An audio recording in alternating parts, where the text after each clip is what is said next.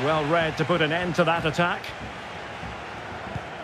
We might very well have late excitement here. Five minutes to go, and just one goal between them. This could level it. There it is! And they're right back in this now. Well, they certainly needed that. Can they now go and win it?